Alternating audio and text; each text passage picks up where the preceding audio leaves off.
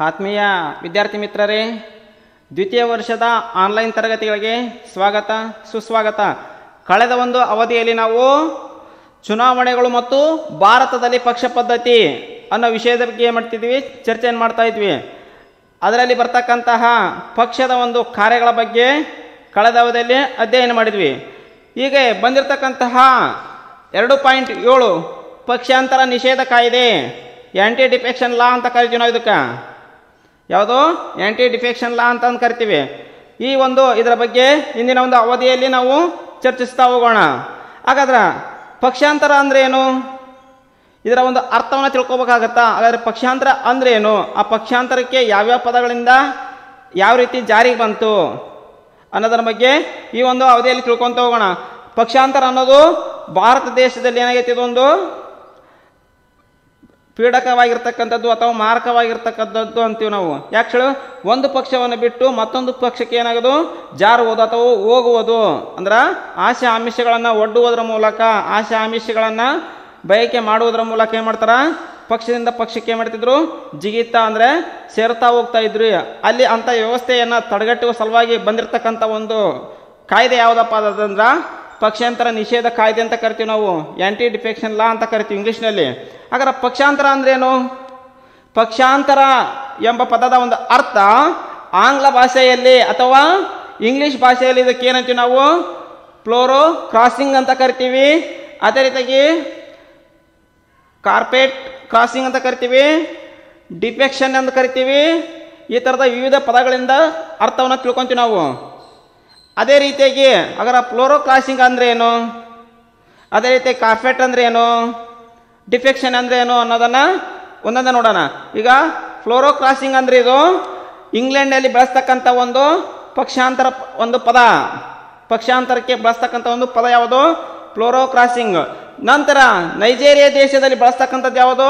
Carpet crossing ಅಂತ ಕರಿತೀವಿ ನಾವು. ಕಾರ್ಪೆಟ್ ಕ್ರಾಸಿಂಗ್ ಅಂತ ಕರಿತೀವಿ. ಭಾರತದಲ್ಲಿ ಡಿಫೆಕ್ಷನ್ ಅಂತ ಕರಿತೀವಿ ನಾವು. ಭಾರತ ದೇಶದಲ್ಲಿ ಏನಂತ ಕರಿತೀವಿ? ಡಿಫೆಕ್ಷನ್ ಅಂತ ಕರಿತೀವಿ. ಹಾಗಾದ್ರೆ ಪಕ್ಷಾಂತರ ಅನ್ನೋ ಪದದ ಏನದು? ಭಾರತದೊಂದು ರಾಜಕೀಯ ವ್ಯವಸ್ಥೆಯ ಒಂದು ಪಿಡುಗಾಗೈತಿ ಅಥವಾ ಮಾರಕವಾಗೈತಿ. ಯಾಕಪ್ಪ ಅಂದ್ರೆ ಒಂದು ಪಕ್ಷವನ್ನು ಬಿಟ್ಟು ಮತ್ತೊಂದು ಪಕ್ಷಕ್ಕೆ ಏನು ಮಾಡೋದು? ಹೋಗೋದು. ಅಲ್ಲೇನಾಗುತ್ತಾ? ಇಂಥ ಪರಿಸ್ಥಿತಿಯಲ್ಲಿ ಅಲ್ಲಿರ್ತಕ್ಕಂಥ ಸರ್ಕಾರಗಳು ಏನಾಗ್ತಾವು ಅಸ್ಥಿರತೆ ಆಗ್ತಾವು. ಸರ್ಕಾರಗಳು ಬಿದ್ದು ಹೋಗ್ತಕ್ಕಂಥದ್ದನ್ನು ನಾವು ಕಾಣ್ತೀವಿ ಅಂದ್ರೆ ತಮ್ಮ ಆಡಳಿತದ ಒಂದು ಚುಕ್ಕಾಣಿಯನ್ನ ಕಳೆದುಕೊಳ್ತಾವು. ಅದಕ್ಕಾಗಿ ಪಕ್ಷಾಂತರ ಎಂಬುದು ಭಾರತದ ಒಂದು ರಾಜಕೀಯ ವ್ಯವಸ್ಥೆಯ ಒಂದು ಪಿಡುಗು ಅಂತ ಕರಿತೀವಿ. ಹಾಗಾದ್ರೆ ಪಕ್ಷಾಂತರ ಅಂದ್ರೆ ಏನು? ಇಷ್ಟೇ ತಿಳ್ಕೊರಿ ನೀವು. ಪಕ್ಷಾಂತರ ಅಂದ್ರ ಸದಸ್ಯರು ತಮ್ಮ ಪಕ್ಷವನ್ನ ಬಿಟ್ಟು, ಇಲ್ಲೇನು? ಸದಸ್ಯರು ತಮ್ಮ ಪಕ್ಷವನ್ನ ಬಿಟ್ಟು ಬೇರೆ ಪಕ್ಷವನ್ನ ಸೇರುವುದು. ಇದಕ್ಕೇನಂತೀವಿ ನಾವು? ಪಕ್ಷಾಂತರ ಅಂತ ಕರಿತೀವಿ ನಾವು. ಪಕ್ಷಾಂತರ ಅಂದ್ರ ಸದಸ್ಯರು ತಮ್ಮ ಪಕ್ಷದ ಒಂದು ಸ್ಥಾನವನ್ನು ಬಿಟ್ಟು ಮತ್ತೊಂದು ಪಕ್ಷಕ್ಕೆ ಸೇರ್ತಾರಲ್ಲ, ಅದಕ್ಕೆ ನಾವೇನಂತೀವಿ? ಪಕ್ಷಾಂತರ ಅಂತ ಕರಿತೀವಿ. ಹಾಗಾದ್ರೆ ಪಕ್ಷಾಂತರಕ್ಕೆ ಏನೇನು ಕಾರಣಪ್ಪ? ಈಗ ಪಕ್ಷಾಂತರ ಹೋಗ್ತಾರಲ್ಲ, ಪಕ್ಷಾಂತರ ಹೋಗ್ಬೇಕಂದ್ರೆ ಒಂದು ಕಾರಣಗಳಿರ್ತಾವೆ. ಅದೇ ರೀತಿ ಕೂಡ ಇಲ್ಲಿ ಕಾರಣಗಳದಾವು. ಒಂದೇದೇನಿರ್ತಾ? ರಾಜಕೀಯದಲ್ಲಿ ಗುಂಪುಗಾರಿಕೆ ಇರ್ತಾ, ಆಂತರಿಕ ಕಚ್ಚಾಟಗಳು ಇರ್ತಾವು, ವೈಯಕ್ತಿಕ ಪ್ರತಿ ವೈಯಕ್ತಿಕ ಪ್ರತಿಷ್ಠೆ ಇರ್ತಾ, ನಾಯಕರ ನಡುವೆ ಏನಿರ್ತಾ? ಭಿನ್ನಾಭಿಪ್ರಾಯಗಳು ಇರ್ತಾವು ನಂತರ ಹಣ ಹಣ ಅಂತೀವಿ. ನಂತರ ಅಧಿಕಾರದ ಒಂದು ಆಮಿಷಗಳು ನಂತರ ಇಲ್ಲಿ ಏನು ಮಾಡ್ತೀವಿ ಒಂದೊಂದಾಗಿ ನೋಡ್ತಾ ಹೋಗೋಣ. ಅದರ ಪಕ್ಷಾಂತರಕ್ಕೆ ಕಾರಣವಾಗ್ತಕ್ಕಂಥ ಅಂಶಗಳು ಏನಪ್ಪ ಅಂದ್ರೆ ಗುಂಪುಗಾರಿಕೆ. ಈಗ ರಾಜಕೀಯ ನಾಯಕರು ಏನು ಮಾಡ್ತಾರ? ಒಂದು ಪಕ್ಷದಿಂದ ಮತ್ತೊಂದು ಪಕ್ಷಕ್ಕೆ ನಮ್ಮ ಹೋಗ್ಬೇಕಪ್ಪ ಅಂದ್ರೆ ಅದಕ್ಕೆ ತಮ್ಮ ಅಧಿಕಾರ ಸಿಗದೇ ಇದ್ದಾಗ ಏನು ಮಾಡ್ತಾರ? ಗುಂಪುಗಾರಿಕೆಯ ಒಂದು ರಾಜಕಾರಣವನ್ನು ಮಾಡ್ತಕ್ಕಂಥದ್ದನ್ನು ನಾವು ಇಂದಿನ ಒಂದು ಪರಿಸ್ಥಿತಿಯಲ್ಲಿ ನೋಡ್ತಾ ಇದ್ದೀವಿ. ಅದೇ ರೀತಿಯಾಗಿ ಆಂತರಿಕ ಕಚ್ಚಾಟ. ನಾನು ಸಿ ಎಂ ಆಗ್ಬೇಕು, ನೀನು ಸಿ ಎಂ ಆಗ್ಬೇಕು ಅಂತಂದು ಏನಾಗುತ್ತದು? ಒಂದೇ ಪಕ್ಷದಲ್ಲಿ ಕಚ್ಚಾಟಗಳು ಕಷ್ಟ ಸ್ಟಾರ್ಟ್ ಆಗ್ತಾವು. ಕಚ್ಚಾಟಗಳಂದ್ರೆ ತಮ್ಮ ಪ್ರತಿಷ್ಠೆಗಾಗಿ, ರಾಜಕೀಯ ಒಂದು ಪ್ರತಿಷ್ಠೆಯನ್ನು ಪಡೆಯೋದಕ್ಕಾಗಿ ನನಗೆ ಉನ್ನತ ಸ್ಥಾನ ಬೇಕು, ಆದಾಯ ಇರ್ತಕ್ಕಂಥ ಒಂದು ಇಲಾಖೆಗಳು ಬೇಕು ಅನ್ನೋದನ್ನು ನೋಡ್ತಾ ಇರ್ತಾರೆ. ಅಂಥದ್ದು ಕೂಡ ನಾವು ಕಾಣ್ತೀವಿ ಅಲ್ಲಿ, ಆಂತರಿಕ ಕಚ್ಚಾಟದಲ್ಲಿ. ನಂತರ ವೈಯಕ್ತಿಕ ಪ್ರತಿಷ್ಠೆ. ಈಗ ಹಿರಿಯರ ಆಧಾರದ ಮೇಲೆ ಮತ್ತು ಕಿರಿಯರ ಆಧಾರದ ಮೇಲೆ ಏನು ವೈಯಕ್ತಿಕವಾಗಿರ್ತಕ್ಕಂಥ ಪ್ರತಿಷ್ಠೆಗಳು ಕಳ್ತವು. ನಾನು ಇಷ್ಟು ವರ್ಷ ರಾಜಕೀಯದಲ್ಲಿದ್ದೀನಿ. ನನಗೆ ಉನ್ನತವಾಗಿರ್ತಕ್ಕಂಥ ಸ್ಥಾನಮಾನಗಳನ್ನು ಕೊಡ್ಬೇಕನ್ನೋದು ಅಂತಿರ್ತಾರ. ಆ ಥರದ ಒಂದು ಕಚ್ಚಾಟಗಳನ್ನು ಕಾಣ್ತೀವಿ. ಅದೇ ರೀತಿಯಾಗಿ ವೈಯಕ್ತಿಕ ಪ್ರತಿಷ್ಠೆಗಳನ್ನು ಕೂಡ ನಾವು ಕಾಣಕ್ಕೆ ಸಾಧ್ಯ ಆಗುತ್ತಾ? ನಂತರ ನಾಯಕರ ನಡುವಿನ ಒಂದು ಭಿನ್ನಾಭಿಪ್ರಾಯ. ನಾಯಕರ ಮೇಲೆ ಏನಿರಲ್ಲ ಇಲ್ಲಿ? ವಿಶ್ವಾಸವಿರೋದಿಲ್ಲ ಒಬ್ಬ ನಾಯಕನ ಮೇಲೆ ಇನ್ನೊಬ್ಬ ನಾಯಕ ಏನು ಮಾಡ್ತಾನೆ?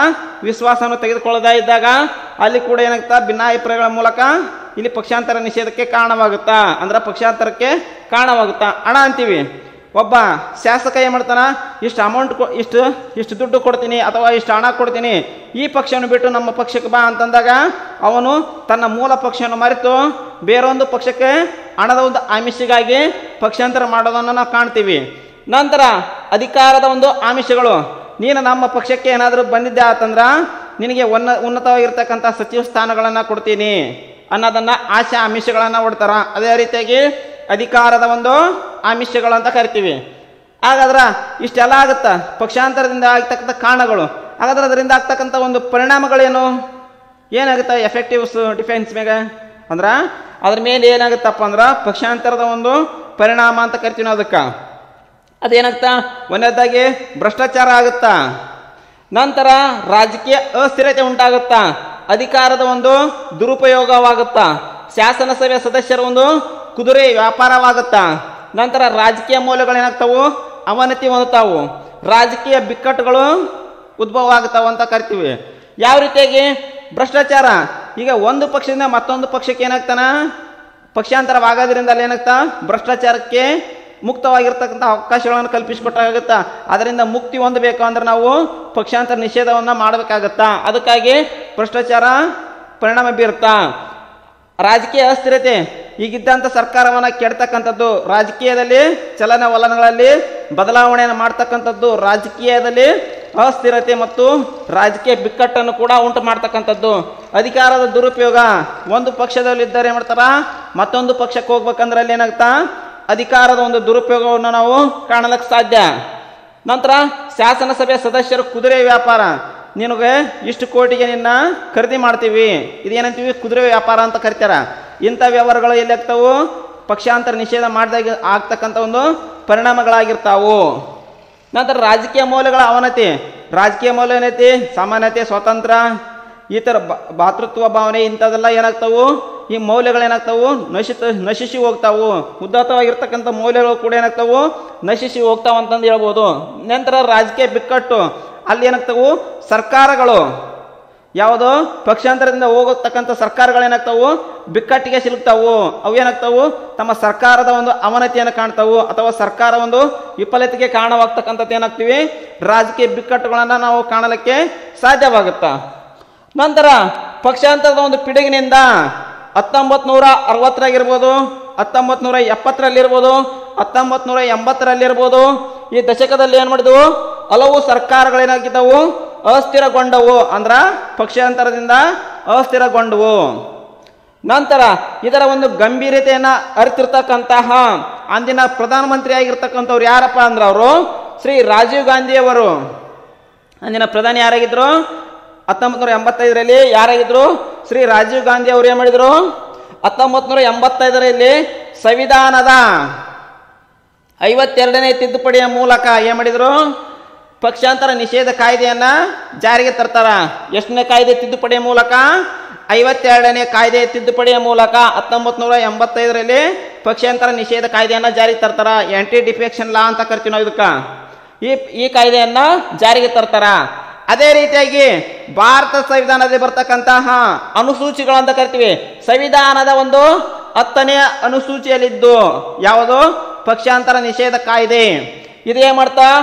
ಹತ್ತೊಂಬತ್ತು ನೂರ ಎಂಬತ್ತೈದು ಏಪ್ರಿಲ್ ಒಂದರಂದು ಜಾರಿಗೆ ಬರ್ತಾ. ಇದು ಎಷ್ಟನೇ ಅನುಸೂಚಿಯಲ್ಲಿ ಇದೆ ಅಂತ ಕೇಳ್ತಾನ. ಸಂವಿಧಾನದ ಎಷ್ಟನೇ ಅನುಸೂಚಿಯಲ್ಲಿ ಪಕ್ಷಾಂತರ ನಿಷೇಧ ಕಾಯ್ದೆಯನ್ನು ಜಾರಿಗೆ ತಂದ ತರಲಾಗಿದೆ ಅಂತ ಕೇಳ್ತಾನ. ಅದು ಹತ್ತನೆಯ ಒಂದು ಅನುಸೂಚಿ ಅಂತ ಕರಿತೀವಿ ನಾವು. ಈ ಈ ಕಾಯ್ದೆಯ ನಂತರ ಯಾವುದು? ಪಕ್ಷಾಂತರ ನಿಷೇಧ ಕಾಯ್ದೆಯ ನಂತರ, ಈ ಕಾಯ್ದೆಯ ನಂತರ ಪಕ್ಷಾಂತರದ ಒಂದು ಪ್ರಕರಣಗಳೇನಾದವು? ಕಡಿಮೆ ಆಗ್ತಾ ಹೋದವು. ಏಕಪ್ಪ ಅಂದ್ರ ಇಲ್ಲಿ ಕಾರಣ ಇಷ್ಟೇ. ಪಕ್ಷಾಂತರ ಮಾಡಿರ್ತಕ್ಕಂಥ ಸದಸ್ಯರು ತಮ್ಮ ಶಾಸನ ಸಭೆಯ ಸದಸ್ಯತ್ವವನ್ನ ಕಳೆದುಕೊಳ್ತಾರೆ. ಇಲ್ಲೇನಿರ್ತಾರ? ಎಂ ಎಲ್ ಎಗಳಾಗಿರ್ತಕ್ಕಂಥ ಒಂದು ಸ್ಥಾನಮಾನವನ್ನ ಕಳೆದುಕೊಳ್ತಾರೆ. ಪಕ್ಷಾಂತರ ನಿಷೇಧ ಕಾಯ್ದೆಯಲ್ಲಿ ಏನು ಜಾರಿಗೆ ಬಂತಂದ್ರೆ, ಇಲ್ಲಿ ಪಕ್ಷಾಂತರ ಮಾಡಿರ್ತಕ್ಕಂಥ ಸದಸ್ಯರು ಪಕ್ಷಾಂತರ ಅಂದ್ರೆ ಡಿಫೆಕ್ಷನ್ ಅಂದ್ರೆ ಆ ಪಕ್ಷವನ್ನು ಬಿಟ್ಟು ಹೋಗ್ಯಾರ. ಸದಸ್ಯತ್ವವನ್ನು ಕಳೆದುಕೊಂಡ್ರೆ ಏನಾಗ್ತಾ? ಶಾಸನ ಸಭೆಯಲ್ಲಿ ಅವರ ಸದಸ್ಯತ್ವ ಏನಾಗ್ತಾ? ರದ್ದಾಗುತ್ತಾ ಅಥವಾ ಕಳೆದುಕೊಳ್ತಾರ ಅಂತೀವಿ. ಹಾಗಾದ್ರ ಪಕ್ಷಾಂತರ ನಿಷೇಧ ಕಾಯ್ದೆ ಅಂದ್ರೇನು? ಪಕ್ಷಾಂತರ ನಿಷೇಧ ಕಾಯ್ದೆ ಅಂದ್ರೇನು? What is the anti defection law ಅಂತ ಕರಿತೀವಿ ನಾವು. ಹೌದಾ? ಇದು ಅಂದ್ರೆ ಶಾಸನ ಸಭೆಯ ಸದಸ್ಯರು. ತಿಳ್ಕೊರಿ ಫಸ್ಟ್ಗೆ ಶಾಸನ ಸಭೆಯ ಸದಸ್ಯರು ತಾವು ಚುನಾವಣೆಯಲ್ಲಿ ಆಯ್ಕೆಯಾಗಿ, ತಾವು ಚುನಾವಣೆಯಲ್ಲಿ ಆಯ್ಕೆಯಾಗಿ ಬಂದ ಪಕ್ಷವನ್ನ ಬಿಟ್ಟು ಬೇರೊಂದು ಪಕ್ಷಕ್ಕೆ ಹೋಗುವುದನ್ನ ನಿರ್ಬಂಧಿಸಲು ಜಾರಿಗೆ ಬಂದಿರತಕ್ಕಂಥ ಕಾಯ್ದೆಯನ್ನು ನಾವು ಪಕ್ಷಾಂತರ ನಿಷೇಧ ಕಾಯ್ದೆ ಅಂತ ಕರಿತೀವಿ ನಾವು. ಅಂದ್ರ ಒಂದು ಪಕ್ಷದಿಂದ ಗೆದ್ದಿರ್ತಕ್ಕಂಥ ಅಥವಾ ಸ್ಪರ್ಧೆಯಿಂದ ಗೆದ್ದಿರ್ತಕ್ಕಂಥ ವ್ಯಕ್ತಿ ಆ ಪಕ್ಷವನ್ನು ಬಿಟ್ಟು ಮರೆತು ಬೇರೊಂದು ಪಕ್ಷಕ್ಕೆ ಹೋದಾಗ ಆತನ ಮೇಲೆ ಕೈಗೊಳ್ಳತಕ್ಕಂಥ ಒಂದು ಯಾವುದು ಕಾನೂನು ಅಥವಾ ಕಾಯ್ದೆ ಯಾವುದಪ್ಪ ಅದಕ್ಕೆ? ಅದು ಪಕ್ಷಾಂತರ ನಿಷೇಧ ಕಾಯ್ದೆ ಅಂತ ಕರಿತೀವಿ ನಾವು. ಹಾಗಾದ್ರೆ ಪಕ್ಷಾಂತರ ನಿಷೇಧ ಕಾಯ್ದೆಯಲ್ಲಿ ಅನೇಕ ರೀತಿಯಾಗಿರ್ತಕ್ಕಂಥ ಬದಲಾವಣೆಗಳಾದವು. ಈಗ ಇತ್ತೀಚೆಗೆ ಕೂಡ ತಿದ್ದುಪಡಿಯ ಮೂಲಕ ಏನಾಗ್ಯಾವು? ಮತ್ತಷ್ಟು ಅಂಶಗಳನ್ನು ಸೇರಿಸಲಾಗಿದೆ. ಆದರೆ ನಿಮ್ಗೆ ಪಕ್ಷಾಂತರ ನಿಷೇಧ ಕಾಯ್ದೆ ಅನ್ನೋದನ್ನು ಇಷ್ಟೆಲ್ಲ ತಿಳ್ಕೊಳ್ರಿ. ಮುಂದಿನ ಒಂದು ಅವಧಿಯಲ್ಲಿ ನಾವು ಪಕ್ಷಾಂತರ ಕಾಯ್ದೆಯ ಒಂದು ಮುಖ್ಯಾಂಶಗಳು ಇಂದಿನ ಅವಧಿಯಲ್ಲಿ, ಮುಂದಿನ ಅವಧಿಯಲ್ಲಿ ನಾವು ಏನು ಮಾಡೋಣ? ಚರ್ಚಿಸ್ತಾ ಹೋಗೋಣ. ಅಂದ್ರೆ ಪಕ್ಷಾಂತರ ನಿಷೇಧ ಕಾಯ್ದೆಯಲ್ಲಿ ಬರ್ತಕ್ಕಂಥ ಒಂದು ಮುಖ್ಯಾಂಶಗಳು ಅಂದ್ರೆ ಮೇನ್ ಪಾಯಿಂಟ್ಸ್ ಏನಿದಾವು? ಅದು ಅದಕ್ಕೆ ಪ್ರಾಶಸ್ತ್ಯ ಕೊಟ್ಟೈತೆ ಅನ್ನೋದನ್ನು ನಾವು ಮುಂದಿನ ಒಂದು ಅವಧಿಯಲ್ಲಿ ಸುದೀರ್ಘವಾಗಿ ಚರ್ಚಿಸೋಣ. ಎಲ್ಲರಿಗೂ ಧನ್ಯವಾದಗಳು.